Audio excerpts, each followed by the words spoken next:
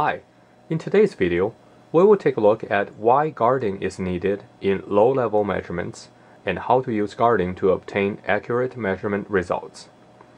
In electronics, a guard is defined as a low impedance point in circuit that is at nearly the same potential as the high impedance input terminal of interest. Intuitively speaking, the benefit guarding provides is well understood. When two points in a circuit are held at the same voltage potential, there would be no current flowing between these two points according to Ohm's law. Depending on how, uh, whether it is current or voltage mode measurement, uh, how guarding is implemented is slightly different. So let's first take a look at guarding in current measurements. Um, when using a picoammeter or electrometer in current mode, the guard is the low input. Uh, in this case, is the um, the the black uh, lead, the low input terminal of the ammeter. Um, this is because picoammeter or electrometers use feedback ammeter technique, so the voltage drop uh, across the two terminals, in this case is the red and uh, black, would be uh, negligible. So it, typically the current drop is uh, in the tens to hundreds microvolt range, which is significantly lower than any shunt resistor-based multimeters. So to see this, uh, let's take a look at the simple experiment I set up here. So here I have a, I'm going to measure the current from this uh, one, um, 100 microamp current source using a Keithley 614 picoammeter, or sorry, uh, electrometer in its uh, uh, uh, current mode. So let's hook it up. Um, hook it up here. Positive to positive and negative to negative. And you will see that uh, um, the current re reading is uh, 100 uh, microamp. So, which is not a surprise here. Um, what I'm going to do next is to uh, to illustrate that the voltage uh, to illustrate the voltage differential between the these two ammeter leads is indeed near zero let me place a 100k, uh, sorry, 10k kilo ohm resistor between them. Um, uh, yeah, that that uh, change little change is just because I was uh, uh you know shifting the uh, the terminal here, but you'll see that virtually there's no change in the reading. It's still 100 microamp. So what this has anything to do with um, guarding? Well, by definition, because the burden voltage is practically practically zero, we can use the guarding, uh, we can use low uh, as the guard input terminal, so that no leakage uh, would be flowing, you know, no leakage current would be flowing through this tube. But the same can be said for a, a typical um, ammeter or, you know, your multimeter's uh, amp, amp range. So let's take a look for uh, for yourself. Let's see, using this uh, Keithley 196. Um, so let me set it to uh, the current mode. Right, so let's, uh, let's lower it a little bit in micro amp. So again, let's um, use um, the Keithley 196 to measure the current. So you'll see that it's, uh, uh, you know, it's roughly, roughly uh, roughly 100 microamp. So now if I place this uh, uh, this uh, resistor here, at least you see that the least significant digit here, uh, notice that now it's 9, and if I put it on, it's 8, 6, 7. So clearly, um, the loading effect of this resistor is, uh, is uh, measurable, measurable. And this is because uh, the voltage drop across this uh, uh, this uh, Keithley 196. And in this particular case, actually the voltage drop is pretty small. Uh, so let's take a look uh, right now using a using my BK Precision 2709. So here I'm I have this BK Precision. you've seen this meter before. so we'll set it to uh, let's see we'll set it to microvolt range. Uh, actually, let, yeah, microvolt range. Let's see what what's the voltage drop here. Uh, first of all, I'm gonna uh, let's see uh, hook up this uh, Keithley 196. So now we see that uh, the current is flowing through it. And when we are measuring, let's let's now measure the um, the burden voltage here. And as you can see, there's only like one millivolt. So that's actually extremely small for a, a shunt resistance-based um, uh, ammeter. But nevertheless, you see that um, it actually can affect the reading quite significantly. Well, in this case, it's not significant, but can affect the reading. So if we actually change the, uh, um, you know, the resolution a little lower, right? So in this case, it's, uh, um, you know, let's use the uh, what do you call that a little higher rather. So let's use the 100 microamp range. So now the um, the voltage drop actually is quite significant. So right now you, you can see that I'm uh, we're looking at 109 110 uh, millivolts. So that actually would uh, uh, cause the the current reading to be lower than what is normal so let's take a look at this uh, Keithley, uh, Keithley's uh, low-level measurement uh, uh, example here uh, to see what's going on, to see you know what is the how the guarding is used here. so here we're looking at measuring a ionization chamber, which has a very high output impedance. So typically, when you're doing the measurement here, um, you know, without guarding, you would see this uh, leakage current uh, from the output to the ground here.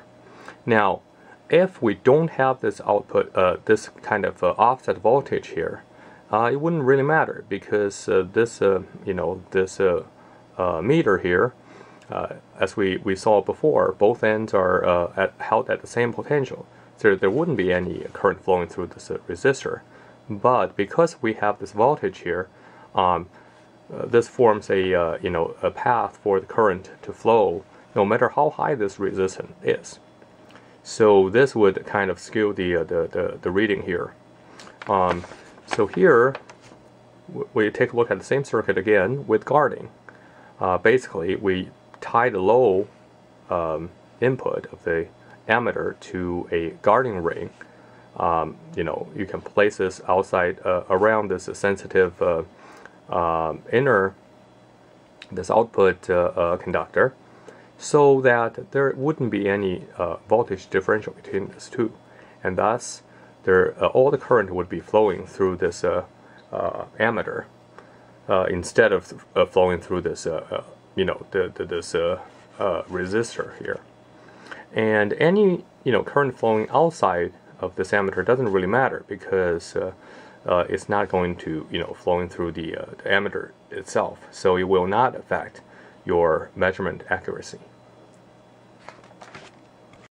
So in our second experiment, experiment, we're going to take a look at measuring the voltage from a high input impedance source. Now I could have used a, a real, um, you know, high impedance source for this, this experiment, but typically uh, you would need to have a um, very well shielded testing enclosure to, to properly measure sources of this nature. Otherwise, the uh, interference from the outside would cause uh, erroneous uh, readings. So for simplicity, I kind of doctored this uh, uh, BNC cable. So what I did here is uh, I put a, um, a 100K resistor here from the center conductor. So to, to mimic a, you know, the sor a source with a um, 100k resistance and I soldered this uh, uh, 1 meg resistor between the, uh, the center conductor and the outer uh, shielding. This is to you know mimic the uh, the leakage of the uh, of the of your cable.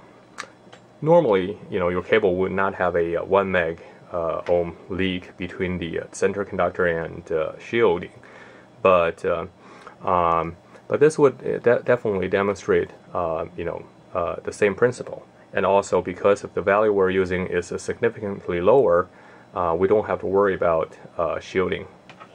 Okay, so if we hook this up to a uh, voltage source, so here is my um, uh, is my HP 6113A uh, precision power supply and uh, I had to adjust it to be slightly above uh, 2 volts to get the, the 2 volts rating. Oh, by the way, let's uh, first measure the voltage rating here. So let me put this out of the, um, uh, the current mode. Let's put back into uh, the standard uh, mode here. So let's get put this away first. And now we are back to DC voltage. Um, let's take a look. Okay, I, I, hooked up the wrong uh, terminal here, so let's take a measurement here. So it's roughly, uh, you know, 2 volts here. Uh, actually, it's uh, uh, more than accurate enough for our purpose. So now if I put this, um, if I hook up uh, the input to our power source, to our voltage source, um, let's take a look at what is measured um, voltage here. So now we measure the output, we'll see that it's significantly lower than the, uh, than the 2 volts no nominal range. That's because uh, the cable resistance, uh, the, sorry, the, the conductor, between the conductor and the shielding resistance and the voltage source resistance form a voltage divider. And we no longer get our uh, 2 volts from the output. And uh, what is perhaps more interesting is uh, I wanted to uh, make sure we, we I show you this is that uh, uh, the reason I used the Keithley 196 is because it has a very high input impedance mode uh, in its 3, range, 3 volts range. in this range, the input imp impedance is roughly 1 tera ohm. So which, you know, this 100 ohm source impedance can be totally ignored. But if I were to use a, uh, let's say a standard multimeter like this um, BK Precision 2709 09B, uh, you will see that the measured uh, result is significantly, well, it's not significantly, but it's a little bit lower than what what the uh, we, we, we got on that uh, Keithley 196. And that's because um, you know, the input impedance of this in the volt range here is only about 11 mega ohm. So just something to be careful.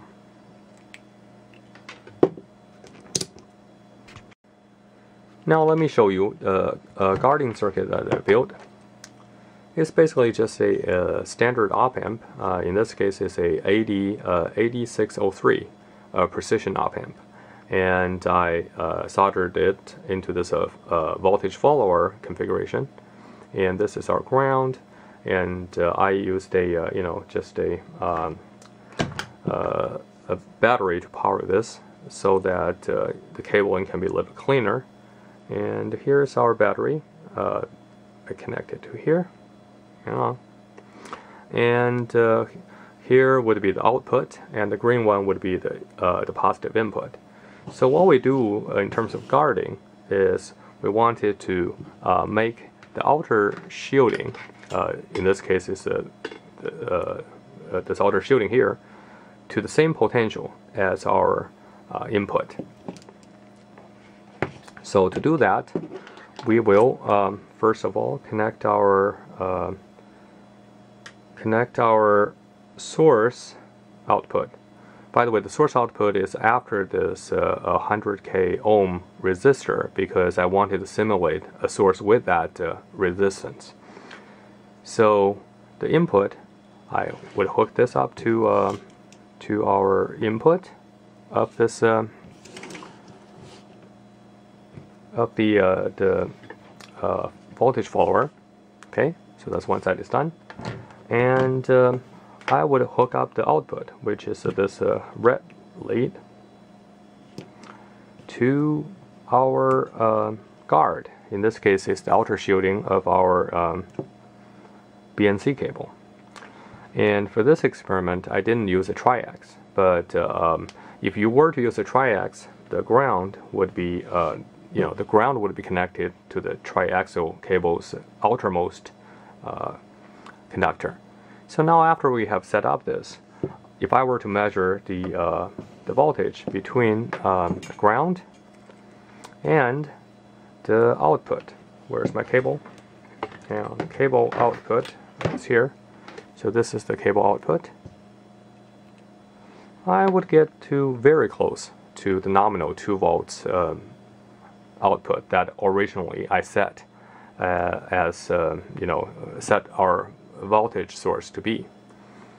And uh, just to uh, double check that is, you know, if I were to put on the input here, uh, this is 1999922, and here the output is uh, 1999926. So it's a little bit difference, but um, very, very minor. So that is, you know, how guarding works in this case. So one thing I want to be uh, make make clear is that guarding actually uh, only eliminated the cable resistance, and so you still need to be careful when you are taking actual measurements. Uh, you need to understand that uh, the the meter you're using uh, has a certain loading effect on the measurement. So previously I used this uh, Keithley 196. It has a, a one tera ohm tera ohm input impedance for the uh, 3 volt range.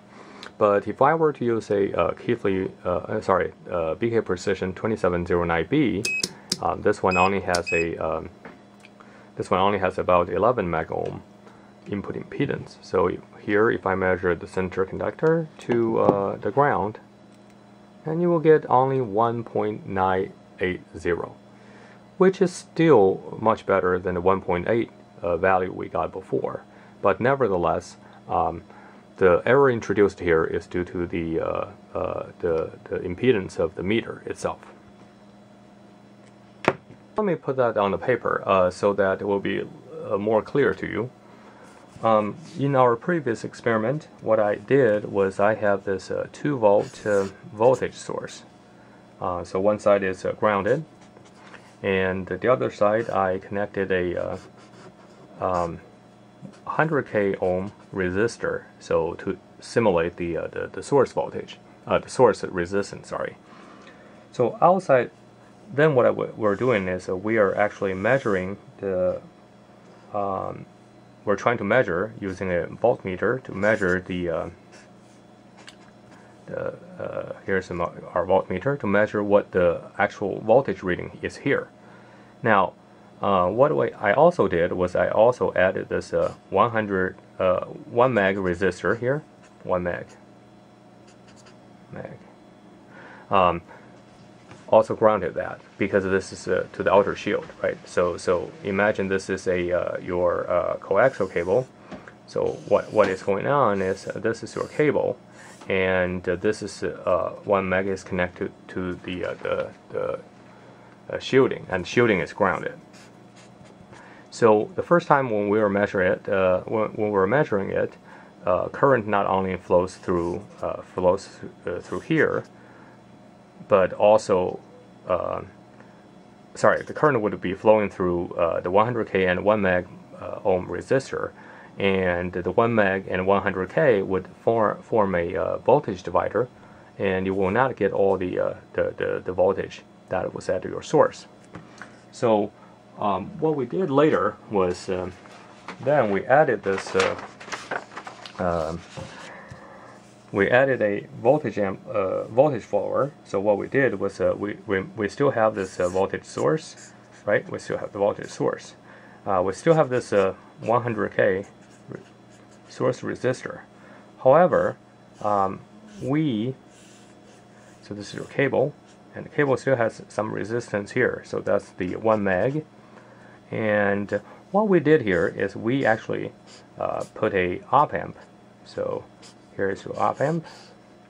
And we connected the output of the op amp directly to the outer shielding of this cable. So what is going on is now when we're measuring the, uh, the voltage here, because the inner conductor and the outer shielding is held at the same potential, there's no current flowing through that. So uh, the only current flowing through is um, uh, through you know through the center conductor through your uh, electrometer, And because the electrometer has a very high uh, input impedance uh, compared to this 100K uh, resistor, so you are you know not going to see any significant voltage drop across this 100K. That's why when we measured using that guarding method, um, we were able to measure the true 2 volt source, source voltage. And by the way, so if I were to add another resistor here um, to the ground, let's say 100k, right? So as you can see, this really doesn't matter because there there is no current flowing through here. So essentially, anything, any current flowing through this 100k uh, resistor outside this uh, shielding, uh, this guard rather, is provided by the op, op amp. So it will not affect your uh, actual measurement reading. I hope you enjoyed the video and uh, let me know if you are uh, you need more information on any of the things I discussed here and I'd be happy to uh, explain more.